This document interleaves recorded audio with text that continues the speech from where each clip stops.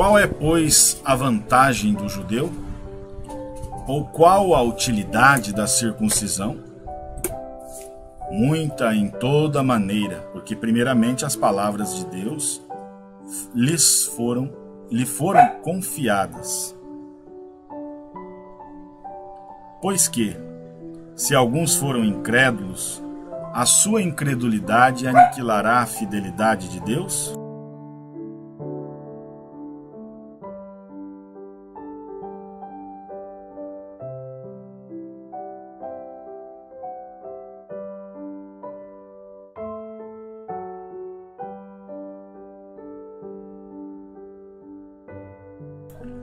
De maneira nenhuma.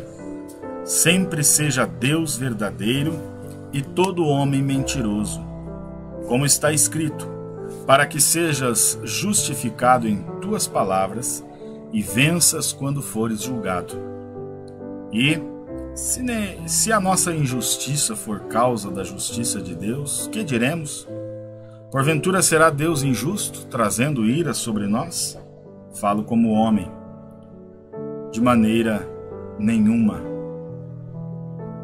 De outro modo, como julgará Deus o mundo? Mas se pela minha mentira abundou mais a verdade de Deus para a glória sua, porque porque sou eu ainda julgado também como pecador?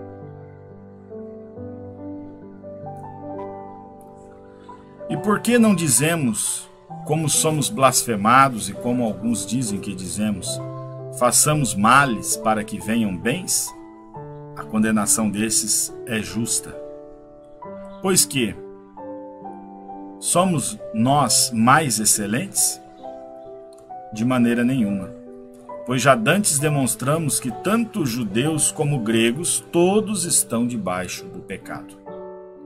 Como está escrito: não há um justo, nenhum sequer. Não há ninguém que entenda, não há ninguém que busque a Deus. Todos se extraviaram e juntamente se fizeram inúteis. Não há quem faça o bem, não há nenhum só. A sua garganta é um sepulcro aberto, com as suas línguas tratam enganosamente.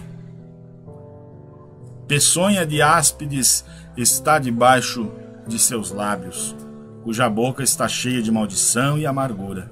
Os seus pés são ligeiros para derramar sangue. Em seus caminhos há destruição e miséria. E não conheceram o caminho da paz. Não há temor de Deus diante de seus olhos. Ora, nós sabemos que tudo o que a lei diz aos que estão da, debaixo da lei, o diz para que toda a boca esteja fechada e todo mundo seja condenável diante de Deus.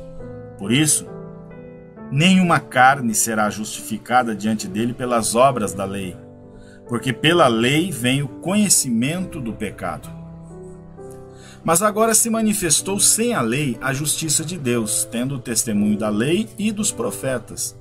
Isso é, a justiça de Deus pela fé em Jesus Cristo para todos e sobre todos os que creem, porque não há diferença, porque todos pecaram e destituídos estão da glória de Deus, sendo justificados gratuitamente pela sua graça, pela redenção que há em Cristo Jesus, ao qual propôs para propiciação pela fé no seu sangue, para demonstrar a sua justiça pela remissão dos pecados dantes cometidos, sob a paciência de Deus para demonstração da sua justiça nesse tempo presente, para que ele seja justo e justificador daquele que tem fé em Jesus. Onde está logo a jactância? É excluída. Por qual lei? Das obras? Não, mas pela lei da fé. Concluímos, pois, que o homem é justificado pela fé sem as obras da lei. É porventura Deus somente dos judeus? E não o é também dos gentios? Também dos gentios, certamente, visto que Deus é um só, que justifica pela fé a circuncisão e, pelo, e por meio da fé a incircuncisão. Anulamos, pois, a lei pela fé? De maneira nenhuma. Antes, estabelecemos a lei.